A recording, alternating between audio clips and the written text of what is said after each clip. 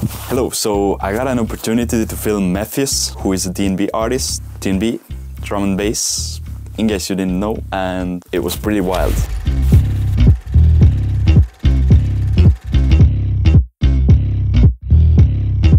So I wanted to go over a little bit how I graded some of the effects, how I did this edit and what problems I tackled so you could avoid them. That is of course if you shoot these kinds of events. I don't know.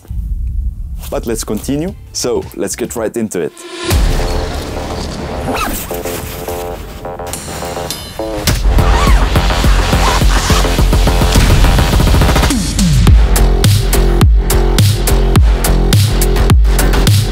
Actually, this ain't no joke. One of the main problems with nightclub events is that you have to be able to go into the crowd to get those great crowd emotion shots. And there were actually quite many times someone hit my lens, so you have to take the risk and you gotta be ready for that.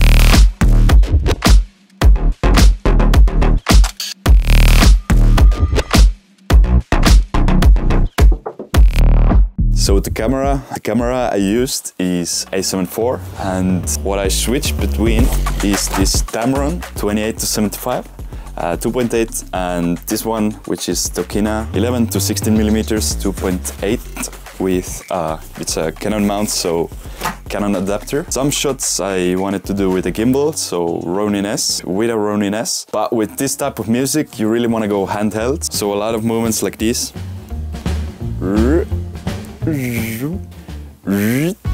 Now even the simple cutting stage for the clips uh, takes a lot of time because you want to find the clips that match.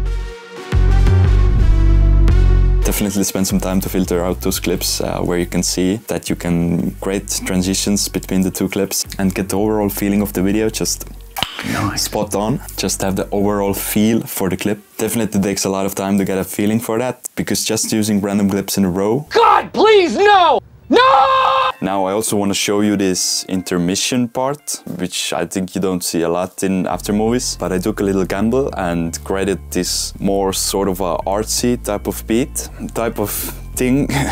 so here's so here's the artsy bit.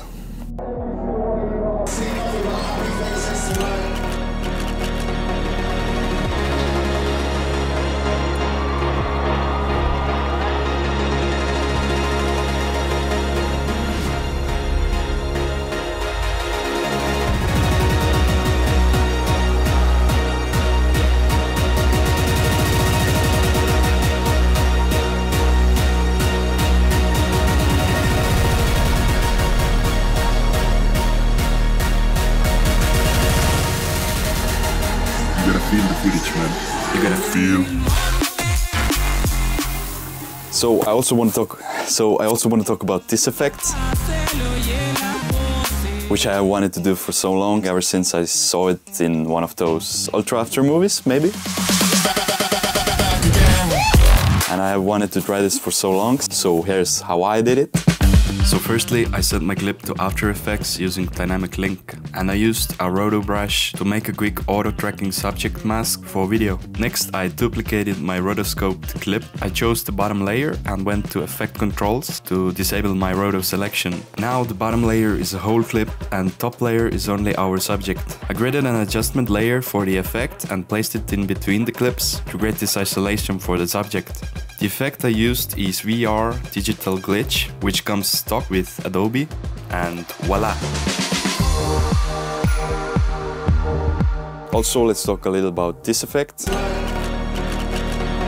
which I think it was pretty cool. The picture overlays effect, which um, I kind of I kind of played around with in the old winter movie, which hopefully comes after this winter season, a new winter movie.